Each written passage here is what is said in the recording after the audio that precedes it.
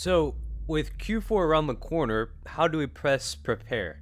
Well, it's having the conversation with our financial officer, having the conversations with the founders, realigning our goals with what we want to accomplish this Q4, and ultimately just keeping our eyes lasered in on how can we increase the profit from our P&L sheet month over month.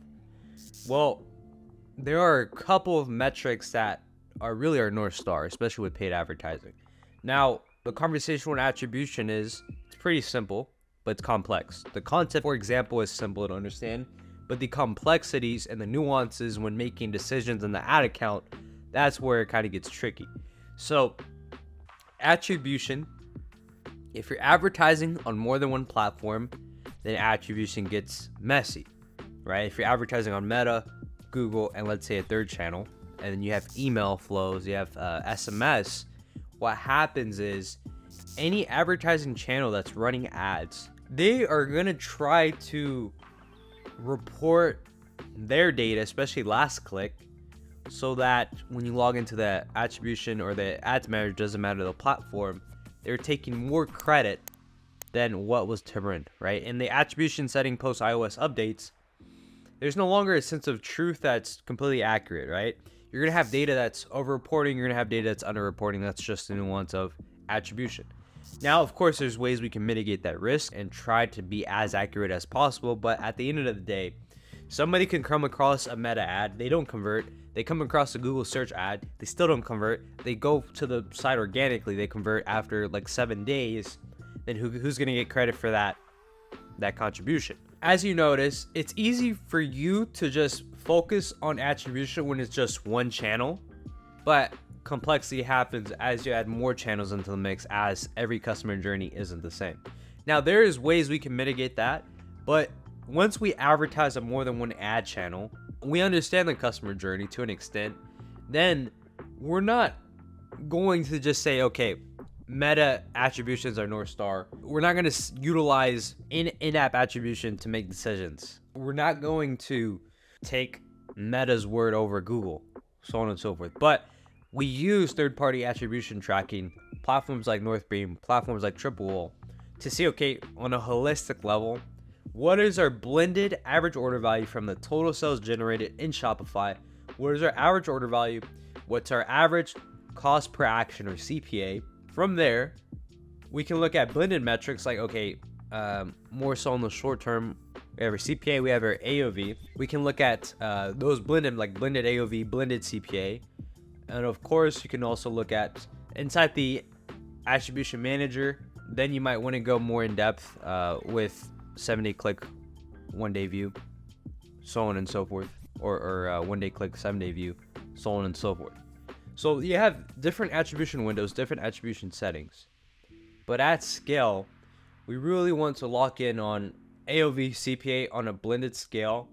MER could be telling, but it's not really going to give you full context because in December, your MER could be top notch, and then the moment January hits, right, the slow period, there's a decrease in sales, your MER is to look terrible.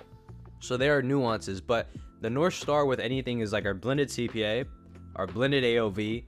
If you want to be specific about this, you can look at your blended return on ad spend, but that's not really telling.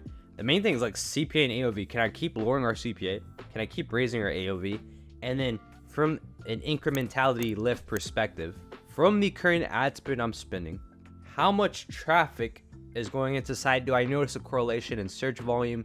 Do I notice a correlation in uh, site visits? Because if I run meta ads, and I know my meta ads, my meta campaigns are used for prospecting to grow that acquisition system, to grow, uh, to get new customers to the ecosystem. But for example, we're out of season and efficiency just doesn't look good on paper.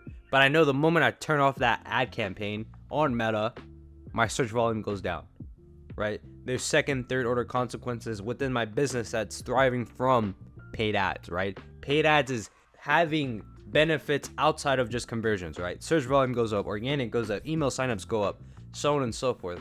So when it comes to analyzing decisions, we don't want to just favor one platform over the other. That's not ideal, especially if we're running on more than one channel. Secondly, as far as North Star metrics, we need to look at our P&L sheet at the end of the month. We need to see, okay, with the amount of revenue, with the amount of ad spend, what is the efficiency of this? How much profit are we making? And then from there, it's reverse engineering backwards on, okay, what can I do to lower the CPA? What can I do to raise the AOV? Now, once that's established, once I understand that relationship, now I can look at the blended metrics and I'll try to understand incremental lift. Because if I know CPA, if I look at AOV and I look at ad spend, and I see uh, the amount of search volume, I see the amount of email signups, the amount of add to carts, the amount of conversion rate, and I see there's higher conversion rates, there's higher uh, search volume when uh, we're advertising, then I might look at ways to keep expanding that funnel, right? I might look at different compelling offers to push on the front end. Because apart from lowering your CPA, that comes with consistent offers being tested, uh, consistent creatives calling out your ideal customer profile, so on and so forth. So when it comes to attribution, you can go super quant and follow contribution margin, which is tracking every ad dollar spent, uh, tracking expenses, uh, having a forecast to see, okay, during this threshold to be within KPI, if I'm trying to hit this amount of gross margin target, well, then I need to spend this amount of ad dollars that's forecasted. And then uh, contribution margin on a daily scale, and you fluctuate your ad spend to fit to make sure you hit your goal within month to month to month. That's full quant. Uh, at scale, that gets very, very difficult. The other side of the spectrum is looking at North Star metrics, CPA, AOV, consistently expanding the funnel. And then we know that the algorithm is going to change and fluctuate day over day. But we're looking at everything on a higher long time perspective, right? So those are kind of the two different methodologies when it comes to attribution. But if I were to put it simple, we want to figure out what our P&L is, what our profit margin is, and what can we do to continually increase our profit margin. The reason where marketers go wrong is that they believe they make decisions, but it's not growing the profit margin. Right? They're just focused on in-app optimizations favoring ROAS, favoring MER, favoring these in-app distortions where Meta is ultimately just telling you, hey, we want you to spend more money with this, so we're going to over-report data or under-report data. So what separates like a media buyer from like a really good performance marketer is the nuances and the context that applies with if we run a meta ad that's going broad, that's top of funnel focus, how does this ad campaign affect other layers outside the business?